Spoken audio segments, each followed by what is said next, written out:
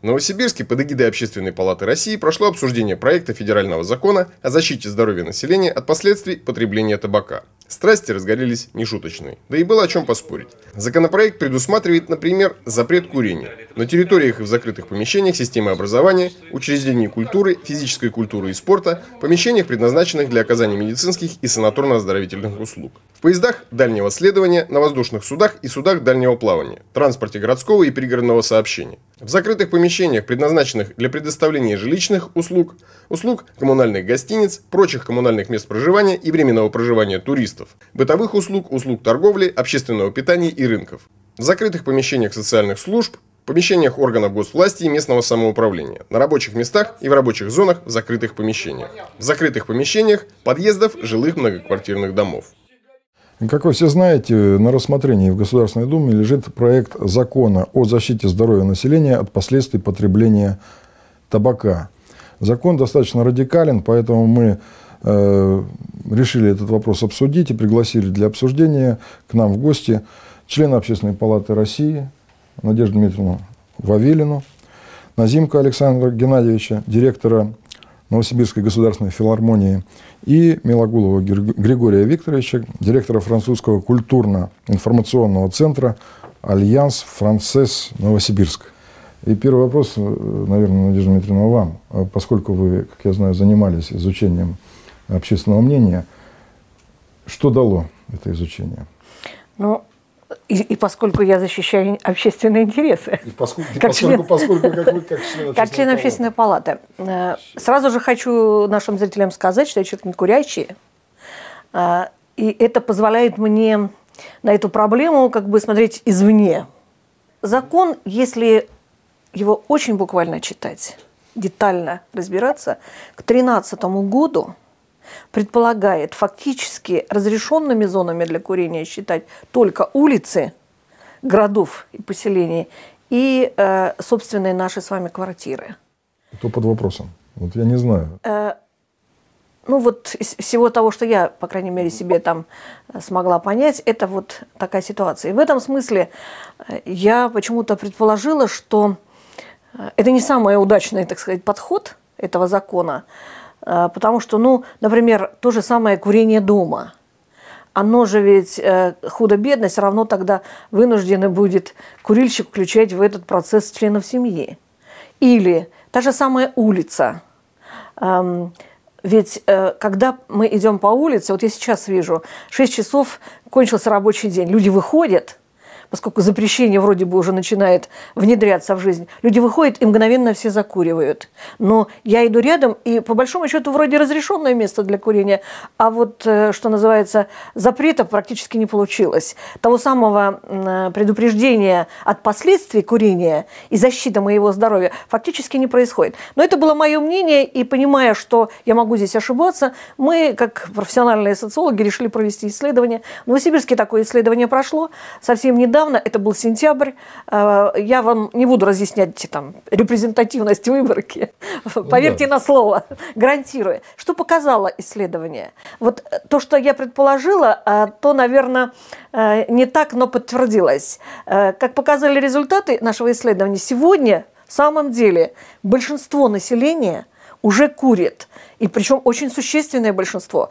Если брать, например, население старше 18 лет, то курильщики, которые курят э, сигареты, они 60% из всех этих курильщиков, они уже курят на улице, уже сейчас. Где-то примерно около 18-20% курят в самом деле дома. Эм, э, остальные совсем немного курят. Э, где-то около 80% это кафе, бары, рестораны. Э, где-то, опять-таки, 8-10% это офисы в отведенных местах. Еще меньше это люди, которые курят там в аэропорту в отведенных местах или так далее. Таким образом, вы понимаете, мне отношение к этому закону такое двойственное. С одной стороны, я как человек ну, уважающие общественные интересы, по крайней мере, э, понимающие потребности здоровья для нашего населения, я должна бы всеми способами, наверное, поддержать этот закон. Но понимая, что в том виде, в котором он сегодня сформулирован, он не решает, в общем-то, задач. Он как раз э, делает то, что уже и так все люди делают. И здоровье, да, и здоровье, по большому счету, э, ни у нас, ни у, э, ни у кого не прибавится. Я бы хотел обратиться к Александру Геннадьевичу. Дело в том, что вот вы, как руководитель достаточно крупного учреждения, насколько я знаю, у вас там нет уже э, легального курения невозможно в филармонии. Э, и к чему это привело? Вот какие, какие последствия этого? Честно говоря, э, сама технология обслуживания здания, вот отсутствие должной мощности вытяжной вентиляции, она, все это не позволяет делать это с необходимым уровнем защиты некурящих. И по многочисленным просьбам мы вынуждены были пойти на жесткие меры и полностью практически запретить курение в здании филармонии. У нас практически осталось два места, то есть оборудовано одно место на личной площадке, достаточно далеко самый э, дальний угол здания, и уличная зона э, перед входом, где тоже э, оборудовано место, где можно курить. Э, все в, в, на всей остальной территории филармонии курить не работникам, не э, зрителям, приходящим на концерты, нельзя. И я могу сказать, что мы ожидали, что это будет э, не выполняться, будут нарушения, будут э, э, окурки там в гримерных комнатах, где-то в, в коридорах, что все равно в туалетах Ничего подобного. Люди это достаточно хорошо приняли. А, и э, вот эти правила игры были приняты даже с некоторым, по-моему, ну, ну, одобрением, да, как долгожданные. Э, нельзя сказать с энтузиазмом со стороны курящих особенно, но э, это было принято. И вы, вы даже не поверите, я никогда не думал, что вот в общественном туалете можно добиться того, чтобы был приятный запах. Мы этого добились. Ну, ну, да. Геннадьевич, ну, может быть, это как раз связано... Ушел, ушли вот эти все вот посторонние вот эти вот... У нас уже действительно проходят и детские концерты и прочее. И была постоянная вот эта вонь. вонь. Сейчас, Геннадьевич, может быть, это связано вот с известным правилом. Мне его всегда брат мой, великий медик, говорит, что он мне говорит так. Культурные люди гриппом не болеют. Эм, может быть, и у вас это было связано с тем, Совершенно что верно. культурные Дело люди. Дело в том, что к вам, наверное, не ходит, э, ну, скажем так, средний, э, если взять среднего посетителя филармонии, то это, наверное, далеко не средний житель России. Наверное, так. Наверное. Да? Все-таки. Я не, не уверен, что это вот имеет прямую зависимость, хотя некоторая зависимость, конечно, безусловно, присутствует. Все же понимают, что э, все, все, чем мы занимаемся, это удовлетворяем духовные запросы достаточно, в общем-то, культурной элиты. Э, высокое искусство, академическая музыка, это все-таки подразумевает еще и какое-то развитие интеллекта и всего остального. Некий уровень готовности. Готовности, безусловно, безусловно. Поэтому... И я думаю, что это как раз относится к той категории граждан, которые являются достаточно законопослушными и которые действительно ну, готовы э вести требования. себя в обществе, не нарушая права остальных, а наоборот способствуя, помогая всем остальным э, сосуществовать. Ну что ж, э, вопрос Григорию Викторовичу, который я давно заготовил, потому что вопрос вот такой, а как вот э, э, за рубежом. Французы, их социальное самосознание, оно выливается не только, в, не только в переворачивании автомобилей, но и в обсуждении. Наша формалистика с профсоюзами у них на самом деле работает. И у них позыв что-то сделать и обсудить идет снизу. Поэтому в 2006 году были, естественно, бурные обсуждения, были дебаты, были противники и сторонники, но это было обсуждение, причем обсуждение государством неконтролируемое и государством не побуждаемое. Это обсуждение, которое происходило внутри общества самого. Ну вот как вы проводили исследование, насколько вообще э, законы какие-то, они влияют на наше общество. И если люди о нем не знают, не обсуждают, и они сталкиваются с ним только в тот момент, когда к нему подходит человек и говорит, разрешите, вы нарушили закон, поскольку он говорит, какой закон, чего закон? Ну, на тебе 100 рублей и будь свободен. Ну, так же, мы Знаете, к этому придем. Есть, есть, есть у нас все это, не буду спорить, но, э, к счастью, должна сказать, эм, эм, Григорию Викторовичу, что вот эти традиции и некоторые их, по крайней мере, элементы общественного обсуждения начинают возникать и у нас. Ну, по крайней мере, все вы были участниками обсуждения этого законопроекта совсем недавно в Новосибирске. Теперь мы готовим очень большое обсуждение. 2 ноября оно будет в Москве. Там мы тоже очень широкий круг общественности э, приглашаем. Надеюсь, что нам удастся выработать вот совокупность каких-то подходов, при которых все-таки, э, что называется, и, и здоровье прибудет. И мы не будем столь э, оголтелыми борцами с тем, э, что, в общем-то, оказывается, и борьбе уже не подлежит. Да, люди и так уже курят, но в этих самых местах, в которых вы разрешите вы помните, было предложение о внесении в нормы закона неких стандартов. Стандартов мест для курения. Конечно, это будет касаться в первую очередь общественных мест – ну, к примеру, это очень сильные там какие-то, э, так сказать, вытяжные устройства. Или это очень интересные, современные, кстати, не очень дорогие, как я теперь выяснила, э, так называемые пылеуловители. То есть те самых вредных веществ, которые возникают при курении. Ну, я не знаю, какие-то еще, может быть, э, надо будет думать и обсуждать уже в каких-то конкретных в группах специалистов. Но ввести в закон – стандарты, э, которые должны э, иметь вот эти места для курения, мне бы казалось, это было бы очень важно. Но дальше, посмотрите, дальше возникает, если мы это вносим в норму закона, возникает очень чудесная для России возможность. То, что я называю стимулированием а, вы получаете такую замечательную услугу. Вот стандарты, они очень жесткие. Кстати, там и уже и здоровье курильщиков бережется, если поставить соответствующие угольные там ловители, да? Но если вы получаете дополнительную услугу, вы должны дополнительные деньги платить. И в этом смысле, э, мне кажется, возникает, да, возникает стимул. Хочешь платить деньги, ты идешь и куришь с комфортом, и даже с пользой для здоровья. Ну, не то чтобы с пользой, но хотя бы без вреда. А если ты не хочешь платить, так ты и не куришь. И ты идешь как раз в то место, там, где можно, в общем, кофе пить и не чувствовать этого запаха, который возникает, когда вот э, курят в соседнем буквально не заизолированном помещении в так называемой зоне для курящих или там зоне для некурящих. Да? Вот я считаю, что это, конечно, должен, должно быть в этом законе. Еще, я соглашусь э, с Григорием Викторовичем, эм, я бы даже более длительный срок дала и для обсуждений, общественных, для споров, для в, входа в эту проблему, чтобы народ понимал. Э, как мне сказал один голландский министр, так чтобы народ исполнил закон, надо его в этом убедить. Проще говоря, чтобы э, закон достиг главной цели, а цель-то здоровье населения, так надо идти шагами, которые приведут к здоровью населения. Значит, сегодня мы добиваемся, что не курим вот здесь, Завтра мы добиваемся, что не курим вот здесь, но если желаешь, кури вот здесь, но за большие деньги там, или за маленькие, а послезавтра Надежда, здоровье. У меня вот такое вот, я просмотрел этот закон, у меня такое ощущение есть, что есть здесь элемент дискриминации курящего населения. Дело в том, что вот у нас посмотрите, что происходит. Вот если мы посмотрим те всевозможные места для курения, которые образуются э, в аэропортах, в каких-то э, помещениях, они зачастую заставляют людей сгрудиться в невообразимом количестве на значит, 10 квадратных метрах, где нет никакой вентиляции, где они друг, ну, фактически находятся в достаточно, ну, скажем так, некомфортных сказал, условиях, мягко ну, скажем. мягко скажем.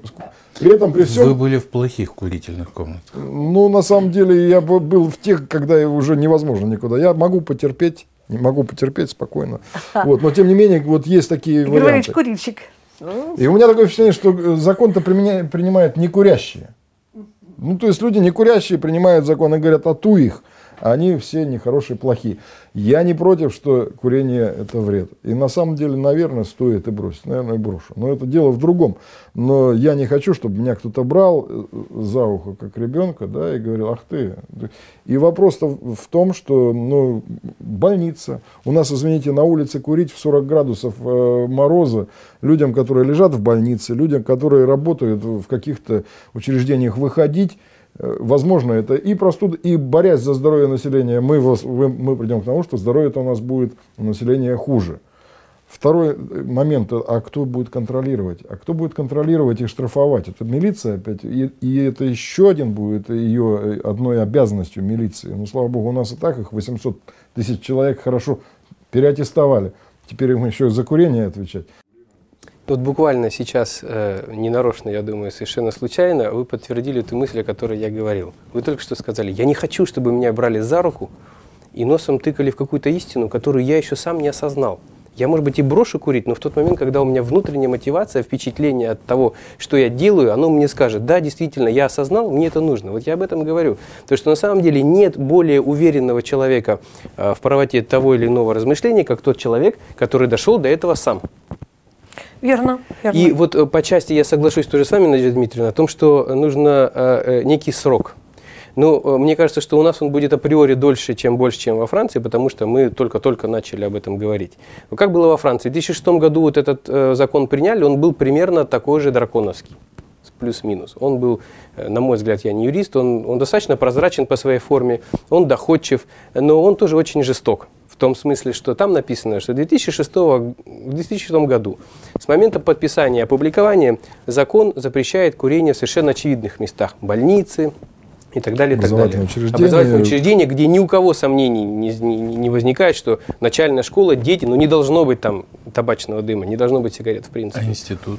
А, я сейчас я не профессионал в этой сфере, я сейчас на память закон не помню, но смысл в том, что более сложные меры были отнесены на год.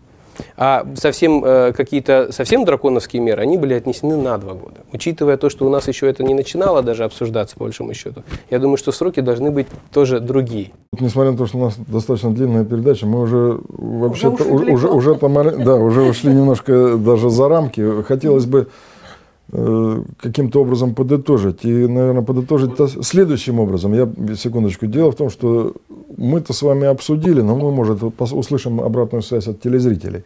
А Надежда Дмитриевна у нас поедет э, в нашу столицу, которая хоть от нас и далеко, но решает за нас очень многое. И там будет проходить слушание. Вот какие-то мысли, какие мы можем попросить, да, через общественную палату донести до нашего законодателя. Э, давайте с вас тогда. Ну, давайте. Самое, на мой взгляд, абсолютно не продуманное и не решенное вот в этом законе, это все-таки его правоприменение. Каким Потому образом? что, да, каким образом? Э, кто и как курит в семье, при детях, не при детях, кто это будет проверять? Кто это будет? Кто будет замерять, сколько метров от школы закурил человек или э, продает киоск? Кто это должен делать? Полиция, общественность? Кто? Создать отдельный какой-то орган, который будет э, всех курильщиков в районе перепишет и будет их проверять, ходить и за ними следить. Но это совершенно непонятно. И, соответственно, как и э, любой вот не до конца прописанный закон, э, выполнение его сразу, сразу ставится под огромный вопрос. Не только уже э, потому, что, э, в принципе, очень многие люди, э, любые законы, которые ограничивают их свободу, их просто нарушают. Но еще и потому, что даже люди, которые ну, хотели бы его не нарушать, или хотели бы там как-то оказывать на тех, кто нарушает какое-то воздействие, не знают, как это делать. Вот это, по-моему, самая главная опасность, самая, самая главная опасность и в существовании этого закона. Да. Так, Григорий Викторович, вы как я считаете? Вернусь, да, я вернусь к той мысли о том, что э, и на самом деле она э, э, пересекается с тем, что говорит Александр Геннадьевич, невозможно в нашей большой стране с такой территорией какими-то полицейскими мерами обеспечить то, что человек не хочет, не осознает, в чем необходимость. Поэтому мне кажется, что закон он не только по форме, он по времени не очень актуален. Почему? Потому что мне кажется, что тот, мы захотели вдруг почему-то э, с разницей, ну, условно говоря, в 5 лет с теми странами, где давным-давно это обсуждается, сделать все быстро, вот как пятилетку за три года. Тот же самый принцип. Да, догнать и перегнать. Поэтому мне кажется, э, может быть, это потому, что я представляю общественную организацию, что здесь еще годы и годы э, какого-то обсуждения и как бы выкристаллизовывания того, что думает общество, какие это общество предлагает механизмы. И вот если общество само их сгенерирует, ну пусть не все, пусть какая-то часть этого общества, да, правоприменение, часть проблем, она сотрется, потому что мы больше не будем цепляться цепляться за 10 метров от школы, мы будем осознавать, что рядом со школой мы курить не будем. Поэтому сразу огромную часть проблемы внедрения этого закона мы снимем. Что касается формулировки этого закона, в принципе, наверное, э, это часть, в которой можно обойтись без серьезного вмешательства там, широкой общественности, потому что у нас ну, есть толковые юристы, и когда общество э, сформулирует, что оно хочет от этого закона, выписать его на бумагу разумно, ну, это уже задача конкретных профессионалов. Понятным языком. Да, понятным языком. Что ж, э, обычно я подытоживаю, но, пос, но постольку, поскольку вам же, ну давайте, а вы как считаете? Вот я, вы, вы я, это все... я согласна. Э, принимать закон, который никто не готов пока исполнять, я не беру э, тех, кто не курит. Я беру тех, кто курит. Их немало, к сожалению, их немало. Это, я сказала, практически около 40% пока населения. Там по-разному, кто пачку, а кто сигарету в день. Но это немало. Так вот, принимать закон, который исполнять не готово так много людей, это не только неэффективно, это безнравственно. Я с вами соглашусь. Э, у нас так много законов, которые не исполняются. У нас так много неуважения в этой связи к законам. Давайте э, не будем пока еще принимать этот закон, который никто не готов исполнять. Но если принимать, то он должен вот учесть то, что мы сегодня сказали. Он должен учесть поступь самого общества, готовность самого общества к его исполнению. Ну что ж, наверное, я как и говорил на той конференции, что право это действительно это государственно выраженная воля общества, и государство не может издавать нормативно-правовые акты, которые не выражают волю общества в таком широком масштабе, потому что это приведет к невыполнению законов. Кроме того, мы должны понимать, что э, право каждого заканчивается там, где начинается право другого человека. Я вполне согласен, что ну, нельзя курильщику нарушать право жить, в, дышать воздухом без запаха табака э, для некурильщиков. Но при этом, при всем, давайте будем э, уважительно относиться к правам того человека, кто курит. И если он курит, то он не преступник. Просто, наверное, ему надо помочь бросить. Большое спасибо всем за э, интересный разговор, за участие в нашей программе. Надеюсь, Надежда Дмитриевна, что чем-то это вам поможет, наше, наше обсуждение. Прошу пригнать в Москву. Хорошо. Вы на сайте. Да. Э, ну а нашу программу продолжит наша постоянная рубрика «Хроника расследованного преступления».